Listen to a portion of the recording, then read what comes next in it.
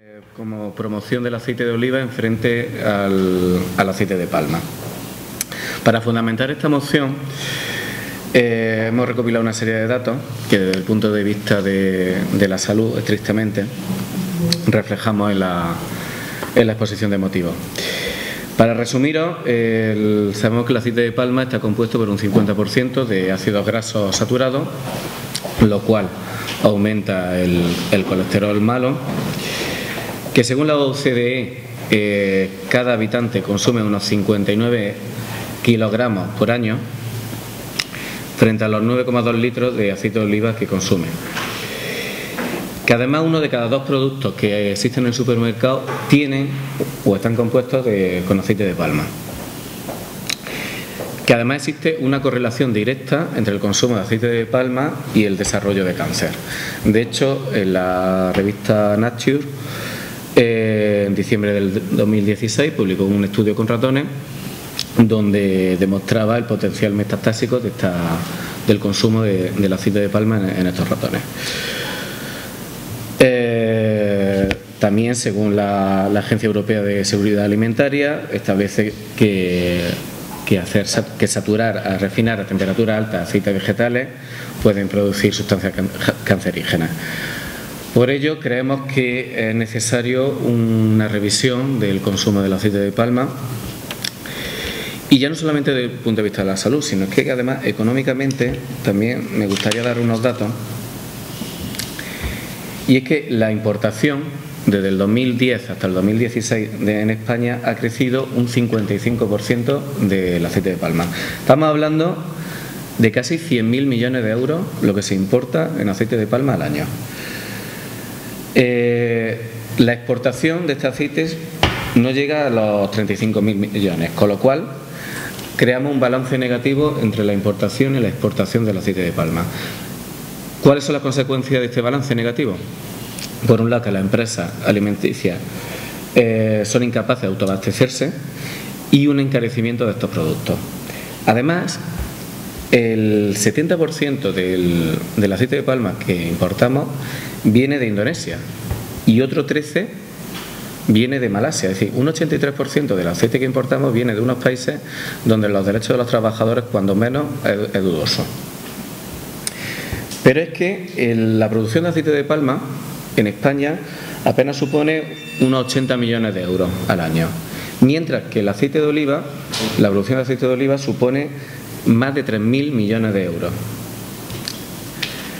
El hacer que el aceite de oliva eh, se utilice en sustitución del aceite de palma, lo que crearía es que la industria del aceite de oliva se pudiera, se pudiera desarrollar se pudiera y se pudiera la actividad económica de este sector se pudiera aumentar. Ya digo que, que la perdón, ya digo que esto sería bastante, sobre todo para esta provincia, es decir, ya sabemos que esta provincia es la mayor exportadora de aceite de oliva, con lo cual creemos que sería, que sería beneficioso. En definitiva, ¿qué es lo que pretendemos? ¿O qué es lo el acuerdo que queremos llevar al Pleno? Lo que queremos es simplemente poner una campaña de concienciación de los riesgos que producen el consumo de aceite de oliva una campaña de concienciación de, los beneficios que supondría el consumo de aceite de oliva, virgen frente al aceite de oliva y una, perdón, de palma y una campaña de promoción de, estos productos fabricados con aceite de oliva. Eso es lo que queremos eh, llevar al acuerdo, eh, como acuerdo al pleno, al pleno del ayuntamiento. Es verdad que se ponen de moda determinadas noticias y y se habla casi en exclusividad, en este caso del aceite de palma, y ahora pues se ven por ahí entrevistas a favor, en contra, que no se pueden sustituir el aceite de palma por otra cosa, porque entonces pierde calidad los productos o, la conservación y demás. Tengo que decir que el aceite de oliva, si lo nitrogenamos, lo convertimos en un aceite parecido al de palma. Tendría los mismos beneficios eh, de cara a la conservación de los alimentos, las propiedades que le aportan los alimentos, y sería igual de malo desde el punto de vista de la salud, pero sería de oliva. De hecho, se hace para fabricar margarina. La margarina es un, aceite sólido por, nitrogenación. Entonces, los, excedentes de aceite de oliva se podían gastar en hidrogenarlo y en vez de comprar aceite de palma gastábamos los excedentes de aceite de oliva. Y tendríamos las mismas propiedades, igual de malos, pero producidos por nosotros. Luego, desde el punto de vista estrictamente económico, esa es una alternativa que había que tener en cuenta. Luego, la producción del aceite de oliva sale rentable a todos los niveles. Pero es que además en el caso del aceite de palma hay que tener una cuestión importante. Y es que se están deforestando millones de hectáreas de selva tropical en Indonesia y en Malasia para sustituirlas por aceite de palma. Entonces no es solamente ya el problema sanitario que se está generando a nivel europeo, a nivel mundial, pero sobre todo a nivel europeo, sino que además está generando un problema de medioambiental de, primer orden y también hay que tenerlo en cuenta.